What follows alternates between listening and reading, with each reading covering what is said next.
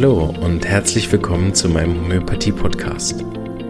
Mein Name ist Marvin Zander und ich freue mich darauf, dir diese alternative Heilmethode näherbringen zu dürfen.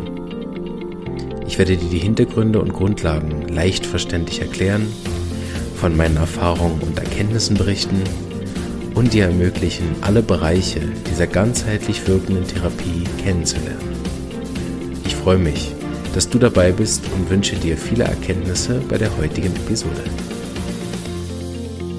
Ich wünsche allen Zuschauern und Zuhörern einen wunderschönen guten Abend. Wir sind heute live mit dem vierten Interview mit den äh, Dozenten und der Schulleitung von der Clemens von Böninghausen Akademie für Homöopathik. Und da freue ich mich sehr, heute die Schulleiterin dabei zu haben, die Christine Mangold. Hallo Christine, schönen Abend, schön bist du dabei. Hallo Marvin, ich freue mich auch. Genau, das ist das äh, vierte von insgesamt fünf Interviews, die wir geplant haben. Beim nächsten Mal sehen wir dann nochmal alle drei zusammen. Und heute hat die Christine ein intensives Thema mitgebracht und eins, was, glaube ich, alle, die mit der Homöopathie auch zu tun haben, im therapeutischen sehr gut kennen, nämlich das Thema Kinder und die Themen rund um Kindern. Explizit werden wir uns um besondere Kinder kümmern. Ähm, und äh, das sind vor allen Dingen äh, ADS-Kinder, aber auch Autismus. Aber das wird Christine nachher dann noch genauer sagen. Vielleicht fangen wir aber zuerst mal bei eurer tollen Akademie an. Äh, das ist ja der Hauptanlass, dass wir uns hier sehen und äh, würde gerne noch mal mit dir darüber sprechen, wie das aktuell so ist für dich, Schulleiterin von einer so großen und auch äh, alten Schule zu sein. Genau, lass uns doch da anfangen. Dann werden wir ein bisschen warm. Also die Clemens von Bönninghausen Akademie hat letztes Jahr ihr 30-jähriges Jubiläum gefeiert. Ich selber habe da mein dreijähriges Studium absolviert und für mich war das was ganz Besonderes, dort studieren zu können, weil der Geist dieser Akademie einfach ganz, ganz wundervoll war, weil die Menschen sich ausgetauscht haben, weil ich ich glaube, das habe ich auch schon mal in dem ersten Podcast gesagt. Das war für mich, als wenn ich auf Menschen treffen würde, die meine Sprache sprechen und die voller Begeisterung den ganzen Tag, den ganzen Abend, weil viele ja auch über Nacht geblieben sind, nur über Homöopathie gesprochen haben. Und die nie müde wurden, sich auszutauschen, neue Erfahrungen auszutauschen. Wir haben ganz tolle Dozenten gehabt, mein Lehrer war der Dr. Mettler, Maria Schuller. Und ich habe, nachdem ich mein Studium dort absolviert habe, das Glück gehabt, dass ich weiter mitarbeiten konnte, erst in der Vorbereitung der Fachfortbildungen und habe dann 2009 angefangen zu unterrichten.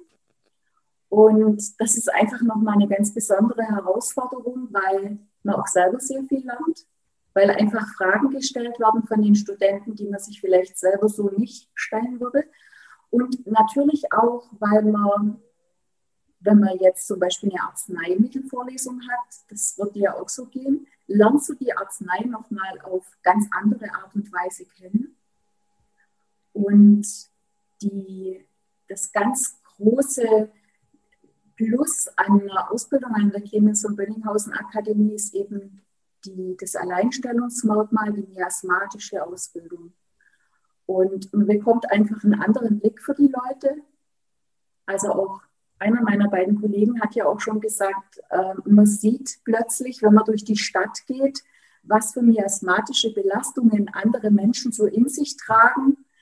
Und ähm, es ist einfach noch mal eine viel tiefgreifendere Behandlungsart möglich, weil man auch die Wirktiefe der Arzneien anders und besser einzuschätzen weiß. Und der Name Clemens von Bönninghausen, das bedeutet nicht, dass wir die Bönninghausen-Methode lehren, die wird auch angerissen, aber nicht so explizit tiefgehend gelernt, sondern Clemens von Bönninghausen war Samuel Hahnemanns bester Freund und er war der erste Heilpraktiker.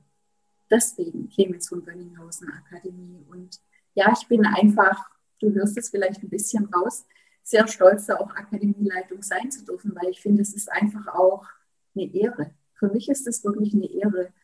Und mein Anliegen ist es einfach noch vielen Heilpraktikern oder auch Ärzten den Weg in die Homöopathie zu ebnen und die Begeisterung rüberzubringen. Also einfach auch nicht in Eimer zu füllen, sondern eine Fackel zu entzünden. Das, das ist mein, mein Ziel und auch durch diese schweren Zeiten, die jetzt in Deutschland die Homöopathie gerade hat, die Menschen trotzdem für diese Heilmethode zu, be zu begeistern, weil es einfach die allerbeste Gesundheitsprophylaxe ist.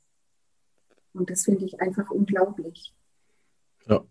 Schöne Worte zum Auftakt, bin ich schon ganz gerührt und äh, spricht mir auch aus dem Herzen, weil der Podcast ja äh, mit genau dem Ziel damals losgelaufen ist, eben diese, diese Fackel nicht nur zu entzünden, sondern auch äh, eine weitere Plattform zu bieten, wo sie dann, äh, wo man sich entfachen kann.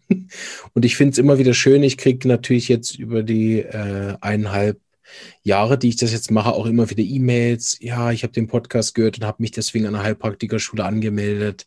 Ah, super. Ich habe wie ich habe sogar eine, die hat mir geschrieben, sie hat ihre Praxistätigkeit wieder aufgenommen. Und das sind einfach schöne Rückmeldungen, ähm, die auch wenn sie vielleicht jetzt nur, nur vereinzelt sind, ähm, aber ich sehe ja, wie viel den Podcast jede Woche runterladen und hoffentlich auch hören. so. Weil ich glaube, einen Homöopathie-Podcast abonniert man nicht so nur so, auch wenn man vielleicht nicht jede Folge hört, oder? Ähm, und da äh, bin ich ganz bei dir. Also es ist auch äh, ja ein Projekt, ähm, was ja rein aus der Freude entstanden ist und auch aus der Freude ja weiterläuft, solange äh, ich Freude habe. und äh, finde ich schön, da mit dir heute sprechen zu dürfen unser, über unser beide Lieblingsthema, offensichtlich.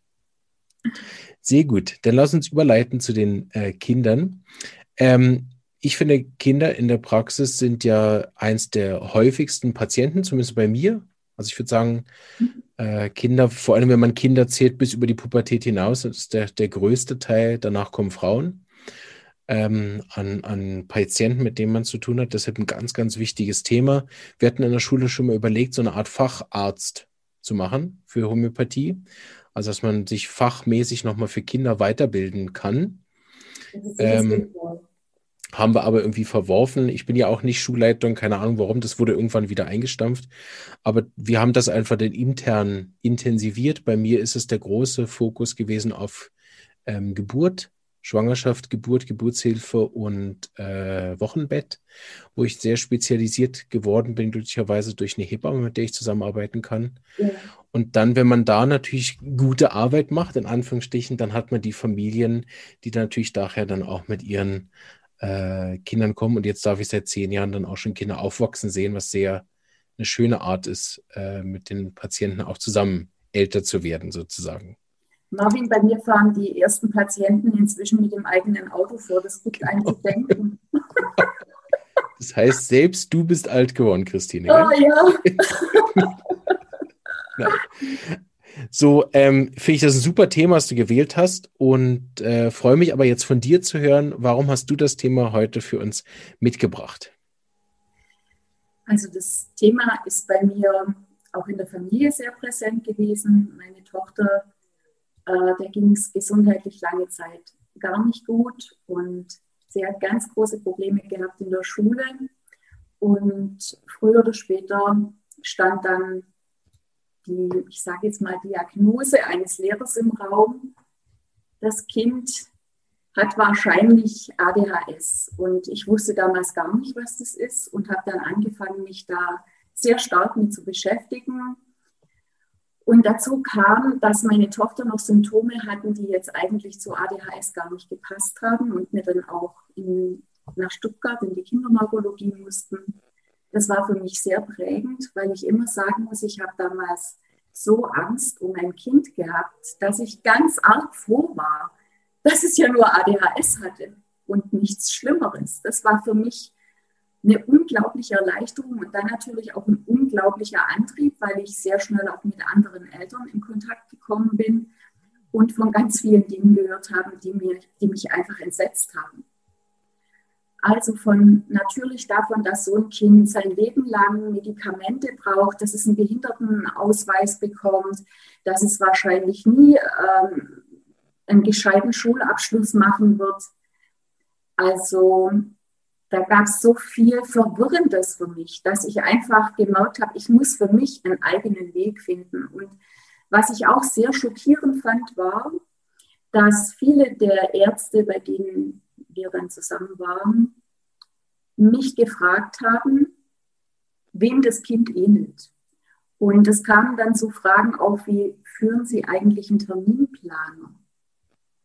Und dann habe ich gesagt, ja, ich habe zwei Kinder, die gehen in die Schule, die haben ihre Vereine, natürlich. Ich habe auch noch ab und zu was vor, natürlich führe ich einen Terminplaner. Mhm. Und die andere Erfahrung, die ich gemacht habe, die mir auch sehr stark zu denken gegeben hat, war, dass mir gesagt wurde, wenn Sie Ihrem Kind kein Ritalin geben, dann sind Sie eine schlechte Mutter. Und ich habe mich dann ganz bewusst dagegen entschieden. Meine Tochter ist ein wunderbarer Mensch, hat einen Lebensweg, der nicht immer geradeaus ging, aber das muss ein Kind auch nicht haben, ist sehr erfolgreich beruflich und macht sehr viel von dem, was ihr wirklich gefällt. Also sie hat auch sehr viel über sich erfahren und sich in einer Art und Weise weiterentwickelt, auch Persönlichkeitsentwicklung gemacht wo ich sagen muss, ja, manchmal hätte ich mir schon gewünscht, dass alles einfacher gewesen wäre. Aber es hat halt im Leben alles seinen Preis und besondere Menschen haben besondere Biografien. Und das stelle ich immer wieder auch bei den ADS-Kindern. Das sage ich gar nicht so gern. Ich sage einfach immer, das sind besondere Kinder, weil es hat einfach einen anderen, es, es überträgt eine andere Resonanz, wie wenn ich sage, ja, das Kind ist lernschwach oder aufmerksamkeitsgestört oder ähm, ein schwieriges Kind, das ist aggressiv im Verhalten und trotzig. Und ich finde, da ist die Homöopathie einfach eine Heilmethode, die, die einen wunderbaren Schlüssel findet. Man muss den richtigen Schlüssel finden, das richtige Schloss. Und dann kann sich das Kind entfalten. Und ich mache das gerne so, dass ich mich dabei auch unterstützen lasse von anderen Therapeuten, mit denen ich mich vernetze. Und ein ganz wichtiger, ein ganz wichtiger Bonus, das sind die Eltern. Und die Eltern müssen einfach auch ermutigt werden, auf dem Weg mit dem Kind weiterzugehen und nicht enttäuscht zu sein, wenn das Kind bei einer Familienfeier mal wieder sich auf den Boden wälzt und alle möglichen Dummheiten macht. Das gehört auch zum Kindsein dazu. Und es ist heute leider so, dass die Kinder einer Norm entsprechen sollen. Und ich finde einfach auch über die 20 Jahre, wo ich jetzt meine Praxis habe, dass diese Schublade immer enger wird für die Kinder. Und ein Kind muss nicht funktionieren. Das ist kein großer Erwachsener. Ein Kind darf traurig sein, trotzen, an der Supermarktkasse schreien, ich will aber die Schokolade haben, weil es ist kein Erwachsener, das muss ich nicht kontrollieren können. Und trotzdem gibt es halt einen Bereich, wo die Eltern auch zu Recht sagen, jetzt brauche ich Unterstützung, damit das Kind sich gut entwickeln kann. Und das kann eben auch die Homöopathie sein. Mhm. Finde ich sehr interessant. Da sind schon zwei Sachen drin, die ich gern äh, mal aufgreifen möchte. Ähm, was ich bemerkt habe, wo, wo ich äh, gemerkt habe, dass auch diese Schubladen enger geworden sind, sind einerseits mein Wechsel von Deutschland in die Schweiz.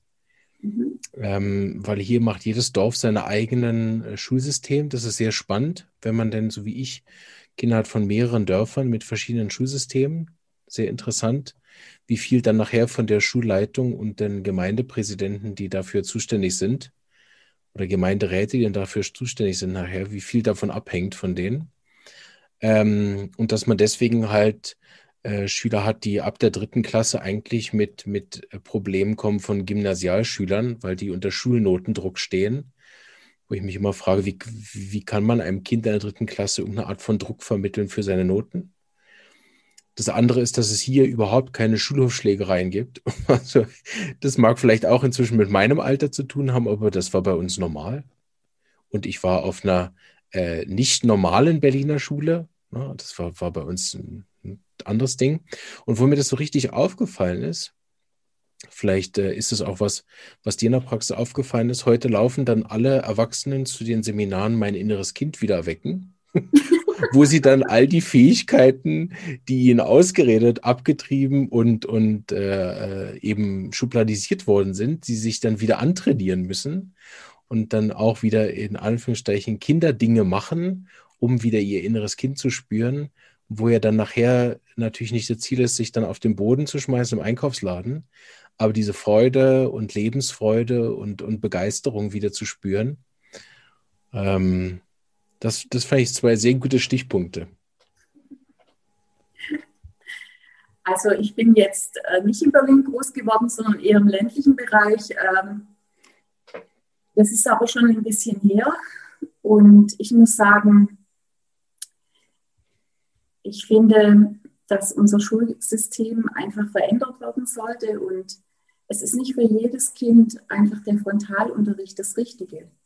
Und das heißt nicht, dass das Kind falsch ist, sondern dass die Lernkanäle einfach völlig andere sind. Und ich glaube, da ist es einfach auch wichtig, das Kind zu ermutigen, dem zu sagen, äh, dass es eben so ist, wie es ist und dass es so richtig ist. Und auch den Eltern Unterstützung zu geben, anzubieten. Und ich habe eine bestimmte Art und Weise, wie ich die erste Anamnese aufnehme und da ist es zum einen so, dass ich am liebsten erstmal mit der Mutter oder mit den Eltern alleine spreche, weil ich muss ja wissen, wie das Kind sich verhält.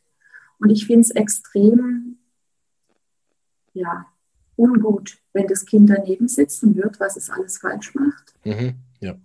Und äh, die Mutter oder der Vater oder beide werden eben nur einen kleinen Teil erzählen. Und in einem zweiten Termin nehme ich mir nur Zeit für das Kind. Und ich bitte die Eltern, dem Kind zu sagen, es soll ein Schulheft mitbringen. Und zwar von seinem Lieblingsfach, weil ich gerne auch das Schriftbild angucke. Und das Lieblingsfach ist meistens das schönste Heft. Und es gibt ja dann auch in diesem Heft was, wo das Kind besonders gut gemacht hat, wo man das Kind einfach auch bestaunen kann, da weiterzumachen ja. so weiterzumachen. Meistens ist es übrigens Religion oder Biologie, habe ich festgestellt. ja, und. Das finde ich ein sehr wichtiger Punkt, den du da nennst, weil ja auch es einen Haufen Arzneien gibt, Folge von Beleidigung. Ja. Also ich sehe das auch immer wieder, dass ich da mutig auch von unserer Schullinie so ein bisschen abweiche, wo die Kind eigentlich immer dabei ist. Mhm. dass ich oft sage, oh, danke, ich merke, das ist ein, äh, das ist ein Fall, den würde ich gern zuerst mit Ihnen allein besprechen. Du bist genau super, so wie du bist, mein Lieber.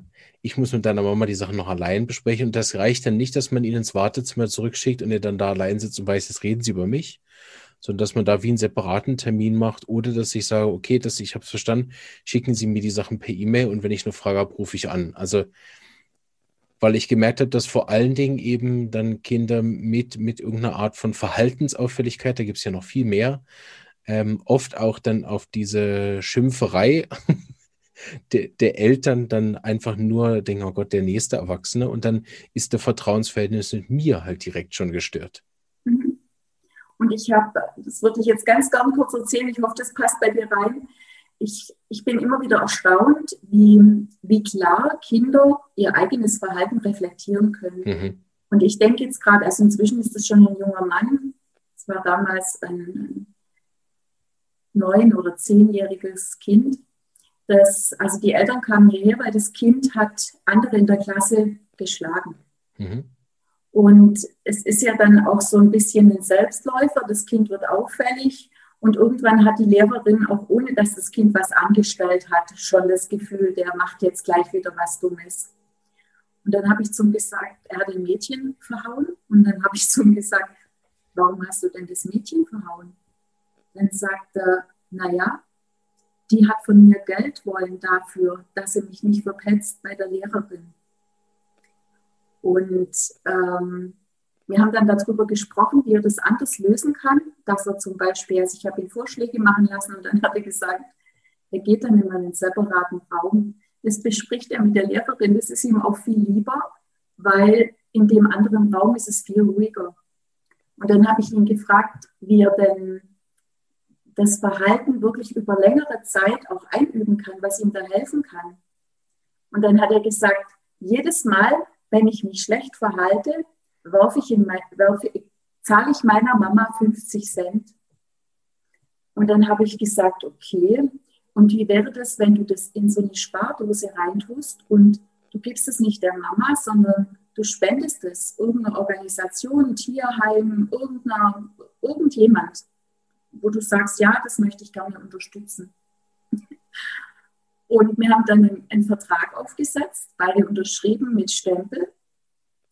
Und äh, die Familie kam dann zwei Monate später und er kam rein und sagt zu mir, nur dass du es weißt, ich habe 50 Cent in der Dose. Ich bin doch nicht dumm und schmeiß mein teures Taschengeld dafür raus. Ja. Manche Mittel kriegt man beim Geld, gell? ja, ja. Ja, ja, es gibt schon einfach auch ganz lustige Anekdoten mit den Kindern. Genau.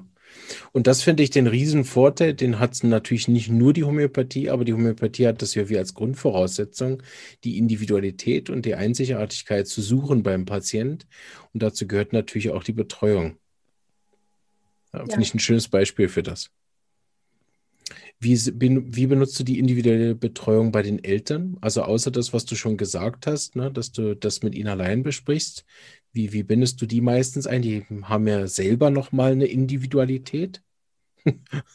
ja, also ich finde, es ist immer schwierig und auch anmaßend zu den Eltern zu sagen, eigentlich sollten sie auch in Behandlung gehen. Mhm. Ja, ähm, finde ich auch so, ja. Äh, weil zum einen ist ja, die Sorge erstmal dem Kind und da habe ich einen Behandlungsauftrag. Ich, ich stelle eigentlich sehr gerne Fragen. Was wünschen Sie sich von dem Kind? Was ist Ihr Ziel? Wie soll ein Sonntagvormittag bei Ihnen aussehen? Wenn Sie, also du kennst vielleicht auch diese Wunderfrage, an was würden Sie erkennen, wenn Sie morgen früh aufwachen, dass alles gut ist?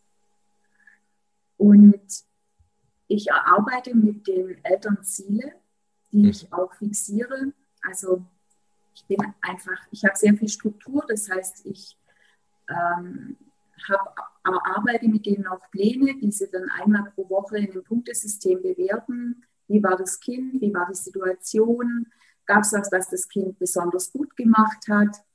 Gab es was, wo man noch, wo Verbesserungen noch möglich sind? Und was hier vielleicht auch noch so reingehört, ich spreche auch gern mit den Vätern alleine, weil die Väter haben eine völlig andere Art, ein Kind zu beurteilen wie eine Mutter. Sachlicher, mit mehr Abstand. Und dann habe ich auch die Feststellung gemacht, dass die Väter oft denken, sie sind nicht so ganz zuständig, die Mütter sind zuständig. Und da bestärke ich einfach auch die Väter, gerade auch mit Jungs, mit denen was alleine zu machen. Und gerade wenn es auch um Jungs geht, das wirst du sicher auch schon beobachtet haben, sagen häufig auch die Väter, der ist eigentlich wie ich. Und dann ist ja die nächste Frage, und haben Sie es geschafft, ins Leben zu kommen? Haben Sie einen Beruf? Ja, ja, ja, ja. Und warum sollte Sie Ihr Kind nicht schaffen? Und ähm, ich glaube einfach, dass unsere Kinder auch präsentere Väter brauchen. Väter, die mit den Kindern auch so Dinge machen wie Fahrradreifen flicken und eben handwerkliche Sachen machen. Und wenn ich das Gefühl habe, dass die Eltern ein Elterntraining brauchen, was Erziehung angeht, weil natürlich auch Regeln, Grenzen, Struktur für diese Kinder ganz besonders wichtig sind, gebe ich ihm Tipps, ich leihe ihm Bücher aus. Ich bin ein Fan von der Familienkonferenz von Thomas Gordon, kennst du vielleicht? Ähm, nein? Das ist, ähm, ist so ein bisschen lösungsorientierte Kommunikation. Also die Familie führt eine Konferenz und der, der spricht und ein Anliegen hat, der darf alles sagen, ohne unterbrochen zu werden. Es wird natürlich die Konferenz in den zeitlichen Rahmen gepackt, von, je nachdem wie alt die Kinder sind, 20 bis 30 Minuten. Und die Kinder suchen gleichberechtigt mit den Eltern nach einer Lösung. Und ja, damit wird auch die Verantwortung anders verteilt natürlich. Die Eltern hören manchmal auch Dinge, die sie so nicht gehört hätten, weil sie ja auch hören müssen, was die Kinder sagen. Und es entspannt einfach auch die Familiensituation. Und auch bei so einer homöopathischen Behandlung ist es ja nicht so, dass man ein Mittel gibt und dann ist das Kind regelkonform, sondern es ist immer ein, ähm, ja, es ist eine Entwicklung. Das Kind wird älter, es begreift andere Sachen, aber ein Kind, das eben ein gewisses Temperament hat, das wird eben auch sich lieber bewegen, wie jetzt in der Ecke sitzen und ein Bild malen. Und das ist ja okay. Also ich kann das auch nur bestätigen mit, mit äh, unserem Sohn, wie wichtig es ist, diese Vaterzeit zu haben. Ja. Jetzt habe ich das große Glück, äh, dass ich nur 80 Prozent arbeiten darf und damit auch viel daheim sein kann. Mhm. Und auch immer schaue, dass ich äh, ganze Tage mit ihm allein verbringe. Ähm, genau, da, da, merke ich auch nicht nur daran, wie es ihm geht nach so einem Tag, wie, wie friedlich dann die Zeit oft oder friedlicher die Zeit oft ist, wenn ich nicht da bin, aber auch wie, wie sehr er danach fragt. Und das Interessante ist, jetzt erst sechs, dass es bisher auch nie so sehr darum ging, was wir zusammen machen. Das war, er hat selten was Konkretes von sich aus vorgeschlagen, was er machen will, sondern es ging vor allen Dingen darum, dass. Dass wir etwas zusammen machen. Und dass der Rest war eigentlich egal oder aktuell. Das ändert sich sicher noch bis, bis vom Alter her. Und das schlage ich natürlich dann von Mann zu Mann auch vor und das kommt nochmal anders an, wenn ich das wirklich so von Mann zu Mann auch anbringen kann, äh, gar nicht auf einem therapeutischen Rat, sondern eben wirklich so unter Freunden sagen, hey, wie gut ich davon profitiere und das kriege ich dann so irgendwann durch die Blume, hey, das war ein voll guter Tipp, gell? so, äh, wo man äh, das dann auch hört, dass das nicht nur bei uns so ist, sondern wirklich eine wichtige Sache ist, so auch an alle Männer, vor allen Dingen mit Jungs, ne? wirklich auch Papa-Sohn-Tage und später auch Papa-Sohn-Wochenenden zu machen.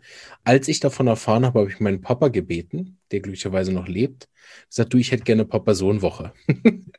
und es war, war ganz ein tolles Erlebnis. Also wer seinen Vater noch äh, anwesend hat als Mann, kann ich nur empfehlen. Und auch da werdet ihr merken, es geht nicht so sehr darum, was ihr macht, ja. sondern das. Ja, und es ist halt so, dass die Kinder heute viel häufiger Kontakt mit Frauen haben. Mhm. Von daher ist es für die Jungs einfach auch schwierig, das richtige Rollenverständnis zu lernen. Ja. Ich würde gerne da wieder eingreifen, äh, wo ich uns jetzt gerade rausgebracht habe mit dem. Du hast gesagt, regelkonform. Was mir auch auffällt, ich bin gespannt, was da deine ähm, Wahrnehmung zu ist in der Praxis, dass, dass das ja auch wie zwei verschiedene Dinge sind. Also die homöopathische Arzneimittelwirkung bei bestimmten Kindern, zum Beispiel auch bei den Kindern, wo jetzt das Haar fehlt, ne? ADS, die ohne die Hyperaktivität sind, die eher ein bisschen verlangsamt sind gibt es ja auch einige Mittel, die bei mir in der Praxis das Kind sogar unangenehmer machen. Ja. Na, also Calcium, Carbonicum beispielsweise dann plötzlich sich mehr wehrt, mehr ausruft, mehr die Meinung sagt, selbstständiger wird und, und jetzt noch weniger Lust hat, die Hausaufgaben zu machen als vorher. Vielleicht für eine Phase. Ne?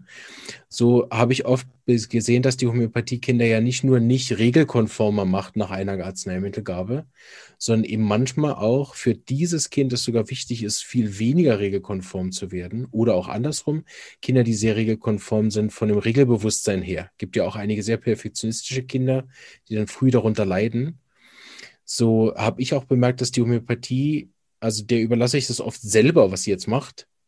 Ich weiß da oft noch gar nicht so sehr am ersten, zweiten Termin, was jetzt passiert, sondern ich sage Ihnen, schauen Sie, die Arznei hat das und das gemacht und den Weg gehen wir jetzt weiter, weil das ist offensichtlich für das Kind das, was es braucht. Also ich finde es auch noch beeindruckender, wie man sich auf die Homöopathie und deren Wirkung dann auch wie stützen kann, um den Fall auch auf den positiven Anführungsstrichen positiven Wirkung aufzubauen?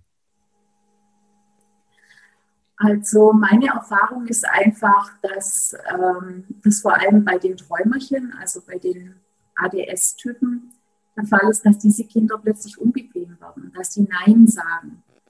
Und da finde ich, ist es ganz wichtig, den Eltern auch zu erklären, wie wichtig das ist, dass ein Kind Widerstand bietet, auch dass es nicht zum Opfer wird. Und dass das im Grunde genommen eine gute Entwicklung ist, ein guter Entwicklungsschritt. Und bei den ADHS-Plus-Typen, sage ich jetzt mal, also mit Hyperaktivität, ähm, ist halt das, was die Eltern meistens möchten, dass diese Hyperaktivität endlich aufhört, weil das Kind den ganzen Tag äh, ruhelos von A nach B rennt und dabei einige Sachen einfach immer auch zu Bruch gehen. Und hier einfach auch, die, dass das Ziel hier bei dem Kind ist, nicht die Hyperaktivität wegzubekommen, sondern dass diese, dieser Bewegungsdrang kanalisiert werden sollte. Dass es auch darum geht, eben zum Beispiel mal in den Verein zu gehen mit dem Kind, auch wenn das schwierig ist dass hier Bewegung einfach auch das Lernen ermöglicht. Und ich denke, dir sagt auch die Birgit Puls was, die ja mhm. auch mit dieser Reflexintegration arbeitet und das auch homöopathisch behandelt, finde ich auch ein ganz spannendes Thema, dass man auch manchmal bei den Kindern findet, dass die Reflexe einfach nicht völlig ausgereift sind und die dadurch einfach ihre, ihren Bewegungsdrang gar nicht richtig kanalisieren können. Ja. Und ich finde, da also das ist jetzt nicht nur bei den ADS-Kindern oder ADHS-Kindern. Grundsätzlich finde ich, wenn ich jemanden behandle, dann sollte der wissen, was in meinem Kopf vorgeht. Deswegen versuche ich immer die Behandlung so transparent wie möglich zu machen. Und dann auch zu sagen, gucken Sie mal, ja, das ist jetzt noch unbequem, aber wir sind hier auf dem richtigen Weg und wir gehen da jetzt weiter. Wir wiederholen das Mittel noch nicht. Aus den und den Gründen können wir noch abwarten haben Sie Geduld. Ich weiß, es ist nicht immer leicht. Ja. Und da ist es halt bei den Kindern so, dass die Eltern das Sprachrohr der Kinder sind. Mhm. Wenn ich die Eltern nicht mit dem Boot habe, dann werden die mit der Behandlung von dem Kind aufhören. Ja, genau. Und deshalb stellst du am Anfang viele dieser Fragen, was die Eltern überhaupt wollen, damit du auch schauen kannst, inwieweit kann ich sie betreuen und inwieweit sind wir auch vor demselben Ziel überhaupt. Ja schon von Anfang an in die Richtung. Ne? Ja. ja, weil die Eltern wollen ja nur das Beste für ihr Kind, mhm. sonst wären sie ja nicht da. Du hast ja sicherlich einige praktische Beispiele, äh, die dir einfallen oder die du mitgebracht hast, woran man das noch ein bisschen mehr verstehen kann, ähm, wie so ein Fall dann ablaufen kann. Also ich handhabe es so, wenn jemand mit, so, mit, mit Kindern zu mir kommt, dass ich die Unterlagen im besten Fall eine Woche, also sieben Tage vorher bekomme. Meistens sind es dann drei. Und ähm, ich habe selber Unterlagen, die ich den Patienten zuschicke. Also die füllen mir die Vorerkrankungen in der Familie aus. Wir trennen nach väterlicher und mütterlicher Seite. Für mich ist ganz wichtig, den Mutterpass zu sehen, mhm. weil einfach heute auch in der Schwangerschaft ganz viel passiert. Ja. Da würde ich gerne ganz kurz einen kleinen Fall einflechten. Mhm, ähm, da hat mir dann die Mutter erzählt, dass, wie sie im dritten Schwangerschaftsmonat war, sich ihr Bruder erhängt hat und sie hat ihn gefunden. Mhm. Und das war ihr Lieblingsbruder. Oh.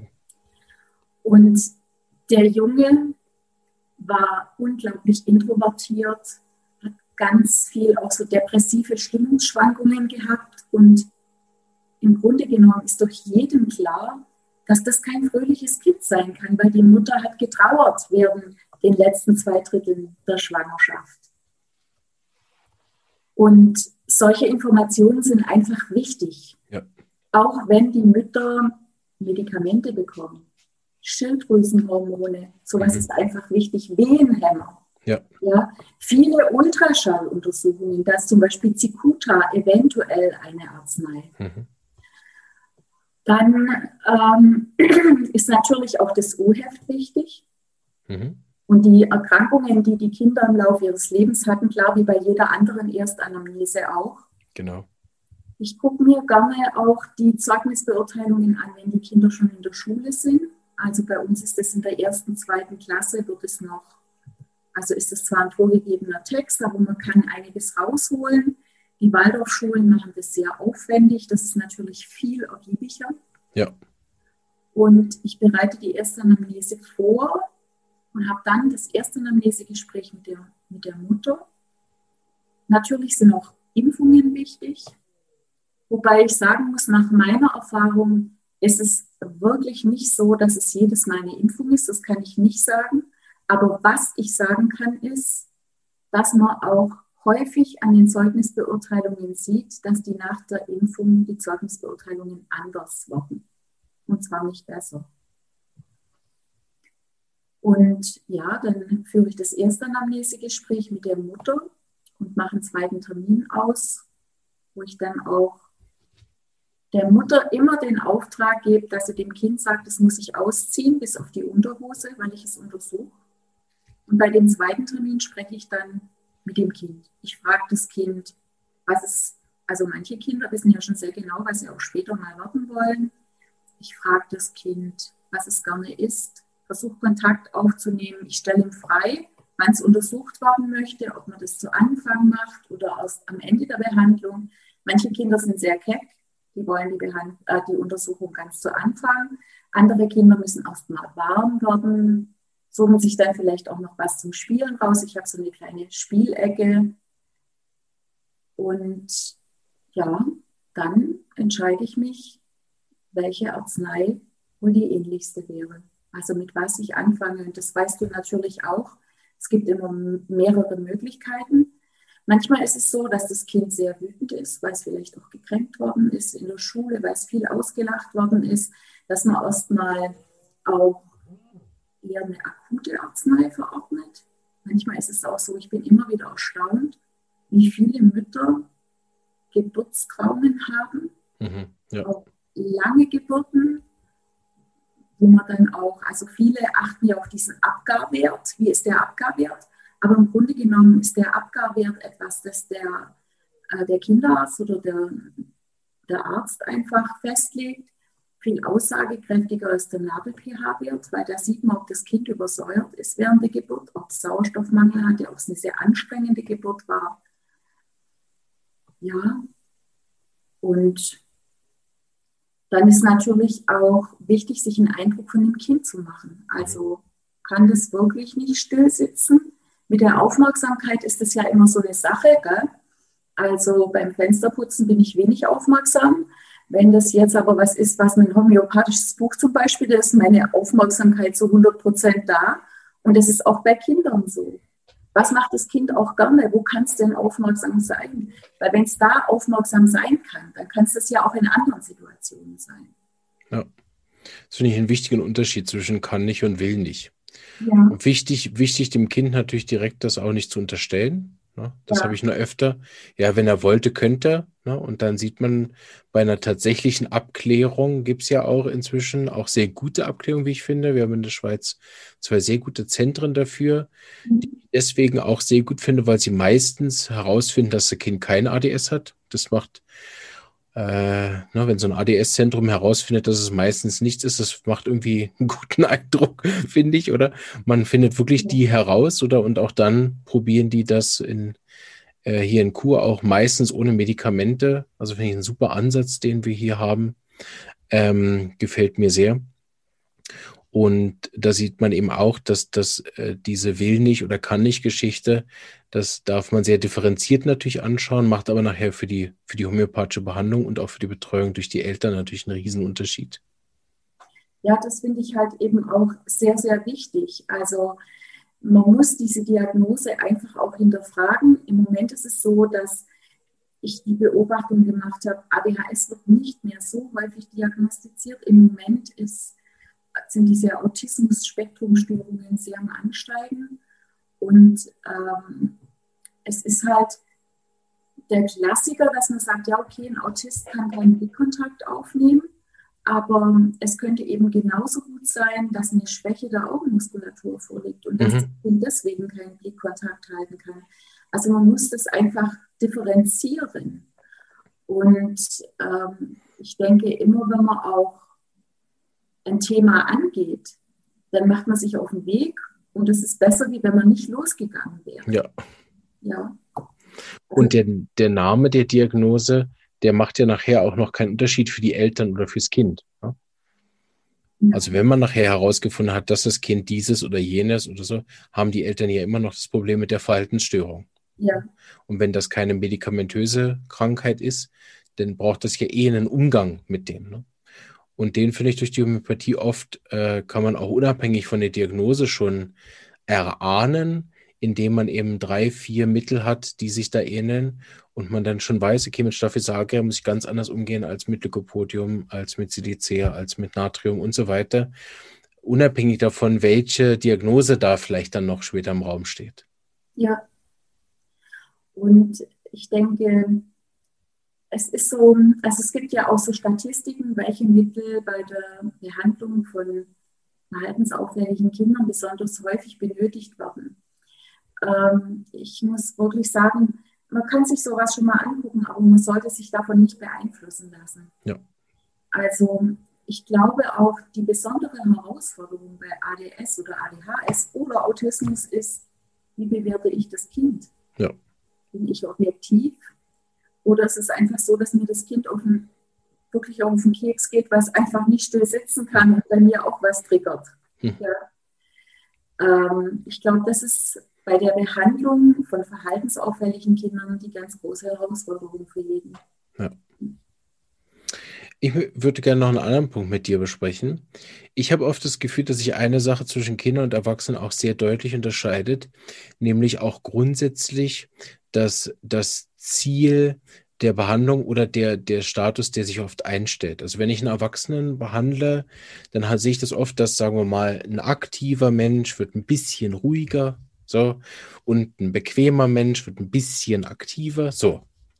Bei Kindern habe ich aber oft gesehen, da die sich in Entwicklung ähm, äh, befinden, haben die oft nicht so ein Zentrum, um das die kreisen. Also natürlich kann man fragen, ist das Kind zufrieden oder so, aber ich fand es immer schwierig, die Verlaufskontrolle zu machen vom Gemüt her, wie mhm. bei Erwachsenen, weil der Kind ja eben, wie wir das vorhin schon ein bisschen an, angetönt haben, äh, zum Beispiel lauter geworden ist, wütender geworden ist und so weiter.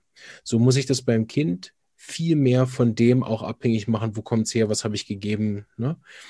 Ähm, wie machst du das, dass du sagst, okay, jetzt, jetzt ist das Gemütsthema ähm, äh, sozusagen eine Verbesserung vom Mittel und wann ist es übermäßig? Es gibt ja grundsätzlich, ich weiß nicht, ob ihr an der Schule auch mit dem so stark arbeitet, gibt ja auch das Prinzip der Unterdrückung. Ne? Ja. Der Hautausschlag ist viel besser geworden. Seither ist das Kind aggressiv geworden. Ja. Ne? Wenn man bei Kalzium zum Beispiel gegeben hat und man hat aus irgendwelchen Gründen jetzt den Hautausschlag unterdrückt und jetzt sagt man, ja, super, er wehrt sich mehr. Also, wie machst du die Verlaufskontrolle bei Kindern, dass du sagen kannst, das ist ein Fall, der jetzt gut läuft? Mhm. Also, äh, die Aufmerksamkeitsstörungen zählen ja eigentlich zu den urzeitlichen Krankheiten. Gell? Bei vielen Kindern gibt es keine Gemütssymptome. Das macht es natürlich noch zusätzlich schwieriger.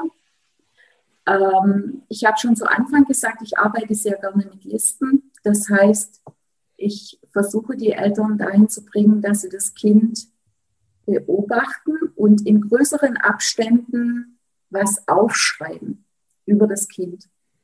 Also zum Beispiel die Hausaufgaben. Wenn jetzt Mathe zum Beispiel ein Problem ist, wie schwierig empfinden Sie die Mathe-Hausaufgaben? Also immer an eine Situation gebunden. Oder auch, wenn das Kind jetzt, äh, manchmal ist ja auch das Thema, dass diese, äh, dass die Aufmerksamkeit der Kinder so minimal ist, dass sie auch nicht merken, wenn sie jemand anderen anfassen, dass sie dem wehtun? Wie ist so Kontakt zu anderen Kindern?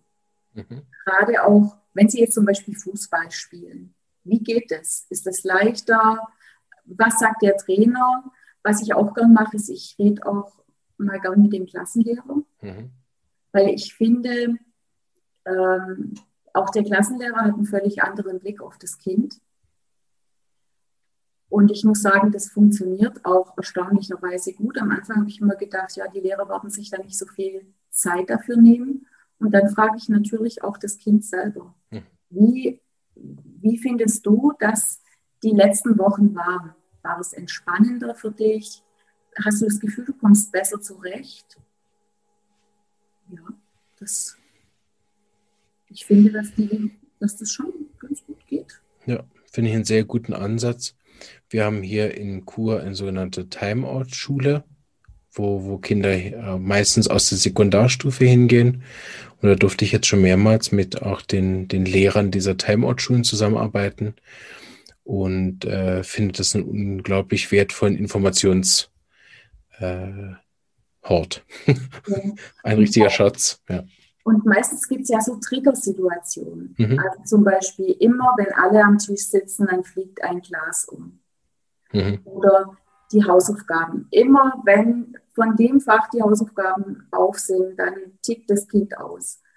Und eine Möglichkeit ist natürlich schon auch, da Anregungen zu geben, wie man das, die Situation ein bisschen entschärfen kann. Ich denke, es ist ein bisschen viel verlangt, wenn man denkt, naja, das homöopathische Mittel wird es schon alles richten. Es mhm. geht schon auch darum, das Familiensystem zu verändern. Und natürlich ein Gradmesser sind immer die Noten. Gell? Ja. Super, ich könnte noch stundenlang mit dir reden. Ich will gerne noch ein, zwei äh, Themen überleiten, dass wir die ja nicht vergessen heute. Ähm, wenn wir so ein bisschen später gehen, vielleicht noch im Leben, äh, wenn, wenn das nachher dann du Kinder übernimmst mit, mit derlei Vorgeschichten in der Pubertät oder kurz vor der Pubertät, hast du da vielleicht noch ein Fallbeispiel für uns oder wie man sich das da vorstellen kann, wenn es jetzt kein Geburtstrauma ist? Fällt dir da ein Fall ein? Von den Jugendlichen? Mhm. Also im Jugendlichen, da fällt mir jetzt spontan leider kein Fall ein, aber ich habe, was mir jetzt spontan eingefallen ist, ich habe eine Patientin, die habe ich schon über 15 Jahre in Behandlung, die kam als erwachsene Frau. Mhm, ja, sehr gut, super. Und ich muss sagen, das war also wirklich jemand, wo nichts ausgelassen hat, ähm, okay. aus sehr schwierigen sozialen Verhältnissen, mhm. ähm, mit Vergewaltigung, das erste Kind dann bekommen mit 18 und das Kind äh, war psychisch so auffällig, dass man das dann in ein, äh, in, eine, in ein Heim geben musste, weil die Mutter damit nicht fertig geworden ist. Und sie kam dann zu mir in die Erstanamnese äh, und hat gesagt, ja, ich habe ADHS, aber oder ADS, aber bei ihr war es eher ADHS, aber eigentlich komme ich wegen meinen Menstruationsbeschwerden. Und das ist ja das Schöne an der Homöopathie, dass man nicht nur das eine behandelt, sondern das Gesamte. Und ich muss sagen, in diesen fast 15 Jahren, wo die Patientin jetzt kommt, hat ihr Leben so umgekrempelt, also von einem wirklich ihre, ihre Kinder, also die, die beiden, die sie dann später auch noch bekommen hat, sind völlig normal, Sie hat ähm, ihre Ehe gut im Griff. Ihr Mann war auch streckenweise sehr, sehr krank. Sie hat es alles gehandelt. Sie hat wirklich unheimlich viele Berge abgeschliffen, sage ich jetzt mal. Und äh, kann, also kam in die Behandlung mit äh, Ritalin und mit Antidepressiva, muss keine Medikamente mehr nehmen, hat noch ein bisschen Heuschnupfen im Sommer. Schön. Yuppie, eine körperliche ja. Beschwerde. Und ich muss wirklich sagen, ich ziehe meinen Hut vor der Patientin, was die in diesen 15 Jahren geschafft hat.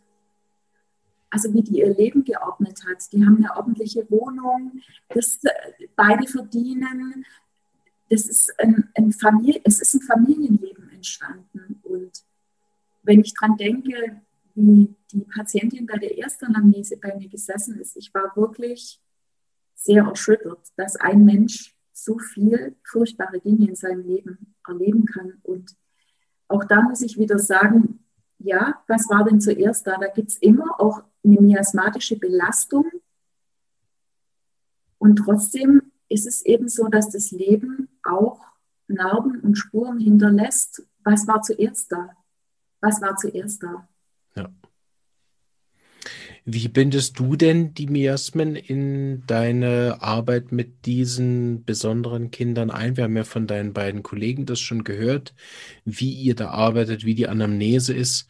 So müssen wir nicht alles besprechen, muss nicht bei A anfangen, aber ähm, wie würdest du sagen, wie, welchen Wert oder wie wichtig sind bei der Behandlung von, von Kindern mit so Beschwerden diese miasmatische äh, Analyse?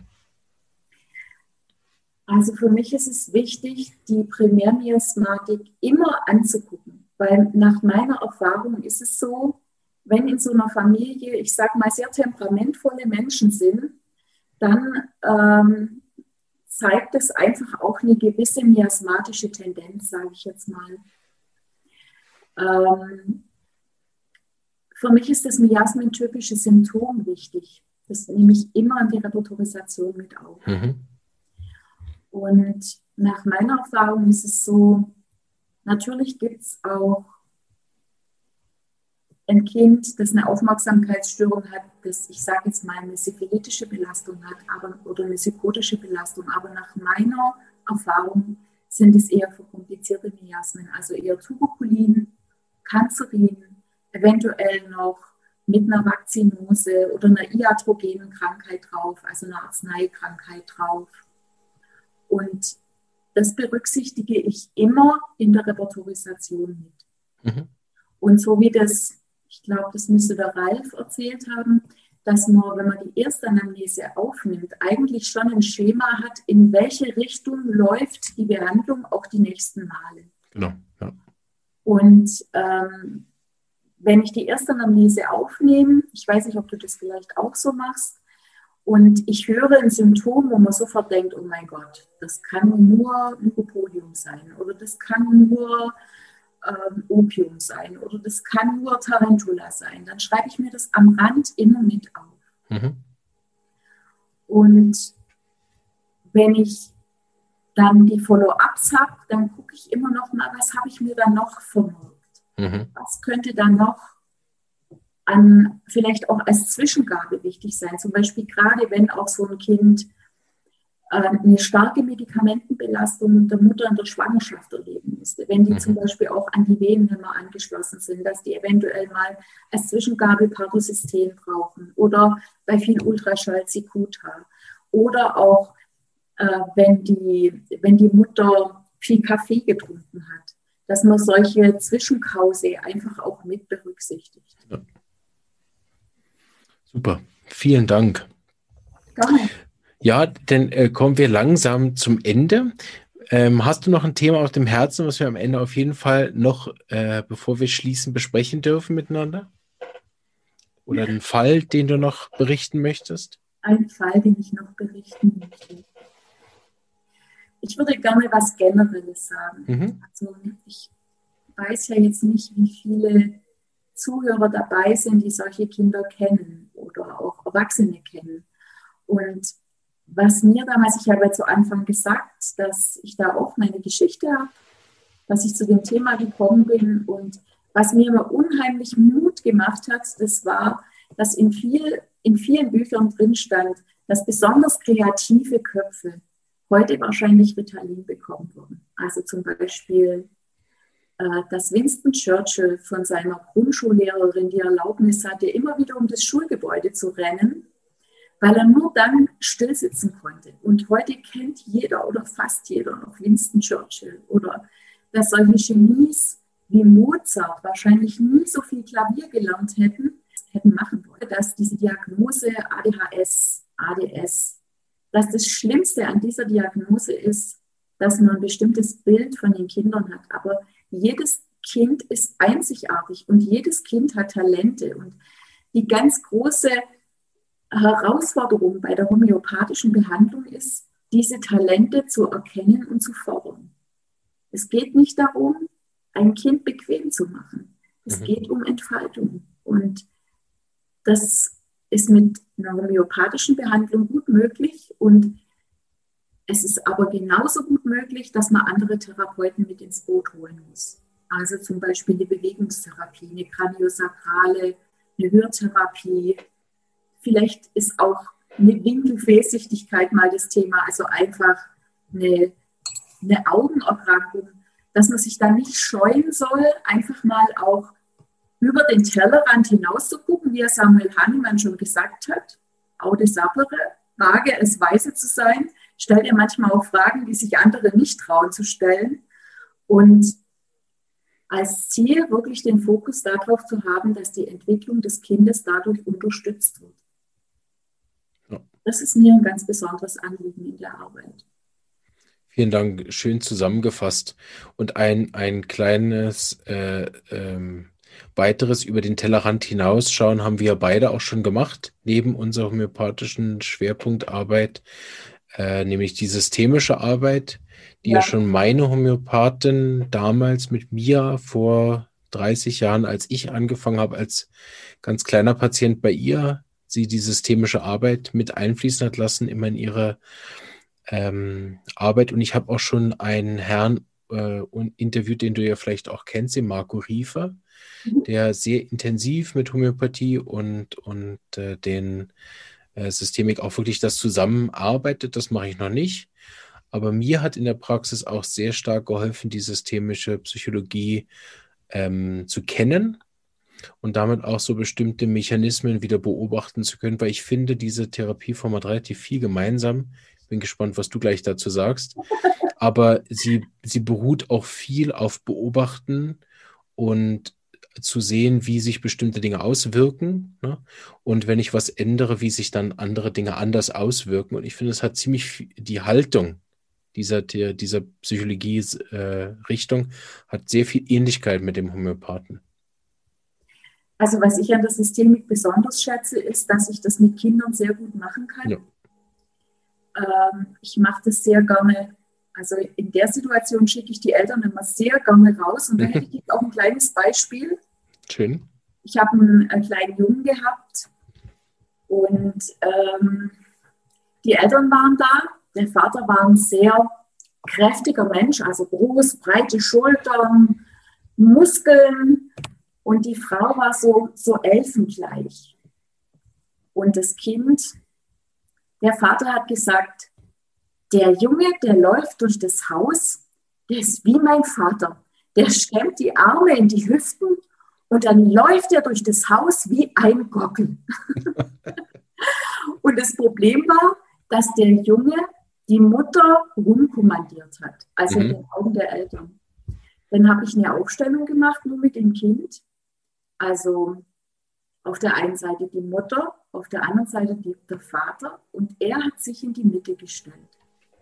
Und jetzt sage ich, warum stellst du dich da in die Mitte? Dann sagt er, ja weißt du, wenn mein Papa nicht da ist, dann ist meine Mama so traurig, dann weint die. Und dann zeige ich ihr, dass ich genauso stark bin wie der Papa. Und ich habe dann die Eltern reingebeten, habe das Kind gefragt, ob ich das erzählen darf. Und es nimmt einfach unheimlich viel Dampf raus aus der Situation. Und das, der ganz große Gewinn an der Systemik ist, wenn ich das System erkenne, mhm. dann kann ich es genauso weitermachen wie vorher, aber ich ja. es nicht. Das ist der ganz große Gewinn. Ja. Und da ist das Heilsame wirklich in der Beobachtung. Ja. ja. Schön, schönes Beispiel. Hey, vielen Dank, Christian. Ich habe es sehr genossen. ähm, wenn ich noch keine Ausbildung hätte, oder wäre die auf jeden Fall eine Anlaufstelle, wo ich mal geklopft hätte, wobei Wolfsburg weit weg gewesen wäre von aus der Schweiz. Nein, Aber aus, kein Problem, wir sind inzwischen auch in Aalen. Das stimmt, das ist keine Ausrede mehr, gell?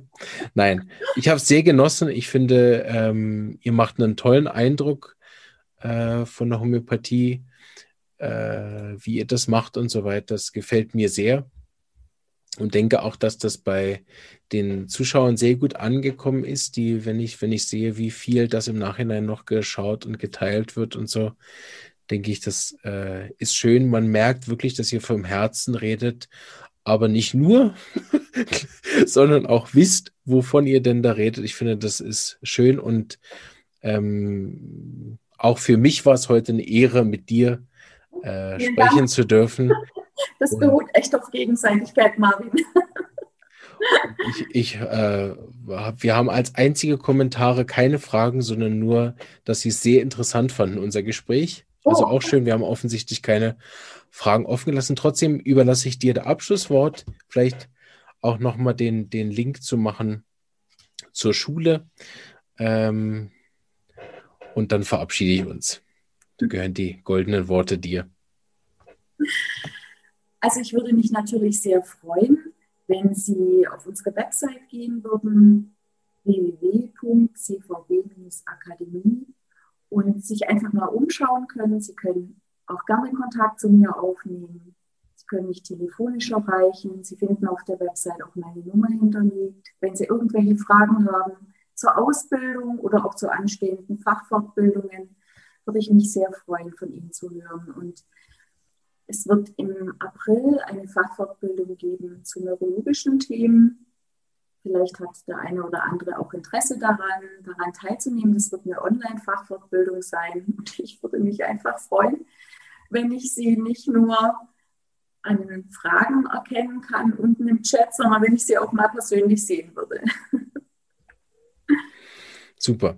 Vielen Dank für deine Zeit und vielen Dank äh, für dein tolles Engagement für die Homöopathie weil es braucht auch genauso Leute, die sich dann eben auch das zutrauen, eine Schulleitung zu übernehmen und das über Jahre dann voranzutreiben und eben auch plötzlich dann umzustellen, wie wir im Vorgespräch mehrmals besprochen haben, wo man dann plötzlich eine ganze Tonhalle mieten muss, um einigermaßen die schriftlichen Prüfungen noch machen zu dürfen.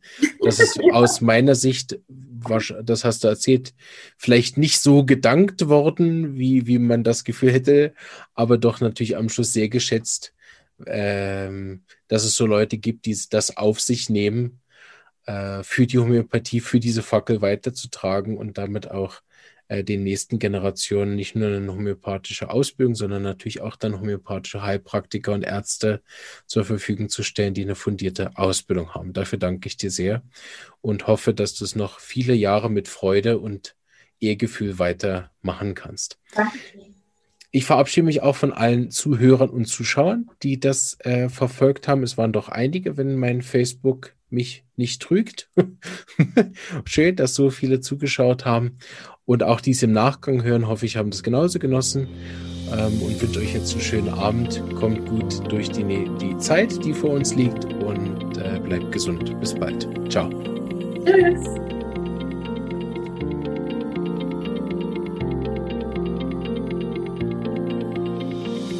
Diese Episode ist entstanden mit freundlicher Unterstützung der Firma Omida AG.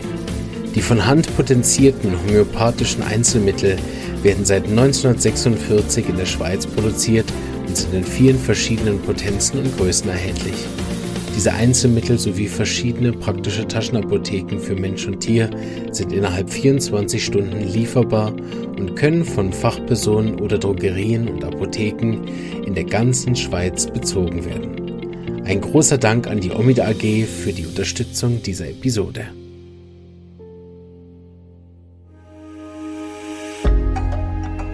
Wenn dir diese Episode gefallen hat und du den Podcast auch unterstützen möchtest, freue ich mich, wenn du ihn persönlich weiterempfiehlst und so auch anderen ermöglichst, sich über diese wunderbare Heilmethode kostenlos zu informieren. Außerdem kannst du jederzeit als Interviewpartnerin oder Gastrednerin deine Erfahrungen als Patientin oder Therapeutin in den Podcast mit einbringen. Oder deine Wunschthemen an mich schicken, damit es auch über dein Thema bald eine Episode gibt. Es würde mich auch wahnsinnig freuen, wenn du den Podcast finanziell unterstützen würdest. Zum Beispiel ab einem Euro oder einen Schweizer Franken pro Monat auf Patreon oder via PayPal. Falls du Student oder Therapeut bist, dann lade ich dich auch herzlich ein in die regelmäßig stattfindende Online-Lerngruppe. Dort kannst du tiefgehende Fachfragen zum Thema Homöopathie mit mir und anderen Therapeuten besprechen und bekommst praktische Hilfe zu deinen Fällen in der Praxis. Jetzt wünsche ich dir noch einen schönen Tag und eine starke Lebenskraft. Bis bald.